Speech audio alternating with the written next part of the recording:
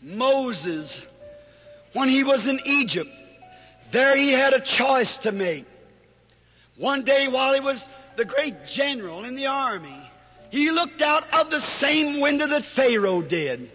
Pharaoh seen the Israelites of nothing but a bunch of mud daubers. Just slaves, they were no good. All the Egyptians looked up on them the same, but Moses couldn't see no beauty in them because they were ragged, they were poor, they were beaten. They were a rejected people by the world.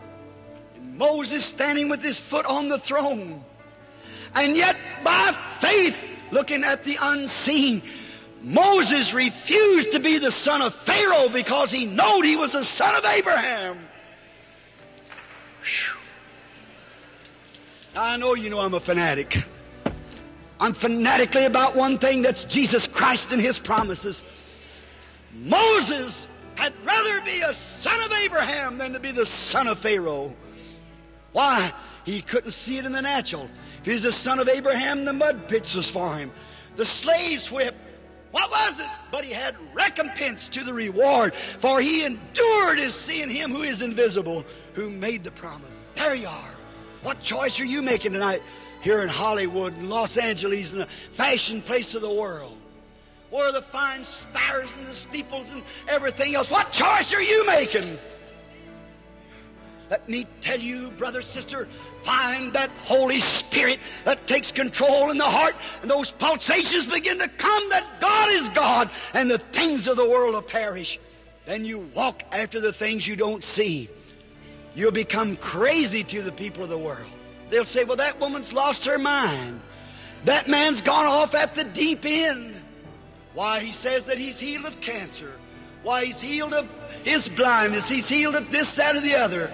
Or he says that he's received the Holy Spirit that's changed him. Why, he don't even associate in the pool room no more. We don't find him at the card table. This woman don't play the cards no more. She quit wearing uh, vulgar clothes. She become a new person. There's something wrong with her, sure. Something happened to her. The old carnal mind died and the mind of Christ took the place in the woman's heart.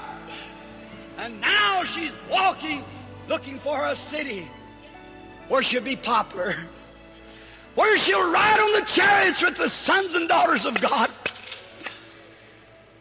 where she'll be a, a guest of the Lord Jesus forever. She's looking for a city whose builder and maker is God. She cares not about the pollution of the world. See, she's been enthroned by something else. God has come into her heart and it just blackened out the fashions of the world. That's first. When He takes control, then I want you to notice that what Moses did when he got that vision of the unseen, here he was standing. There was a throne. All the world laid at his hand every pretty thing that could happen. The Pharaoh of Egypt, and he had all the money, the women's, the beautiful girls, and and all the social and all the popularity and, and the gaiety of the world laid at his hand. What did he look down in the mud pit? It could promise him nothing but poverty. A, a fall from the, the society that he was in. A turning his back upon the glaring things of the world. He had to go to the mud pits to become one of them. I remember some time ago when a certain denominational church that I was ordained in said, Billy, you go out with that bunch and you'll become a holy roller. But I looked out upon them. I seen a promise in them that they wasn't ashamed of the religion that they represented. I seen they were God's children called everything in the world, but I seen they were heirs of the promise and I took my place with them to become one of them. Now, it ain't to sympathize with them and say, oh, I think they're nice people. That don't do no good. You've got to become one of them. Moses didn't say, now I sympathize with my people. I think they're nice and everything, but I'm up here and they're down there. No, Moses went to become one of them. Because he endured as seeing him who was invisible. He didn't walk by sight, he walked by faith, the unseen. something happened to him.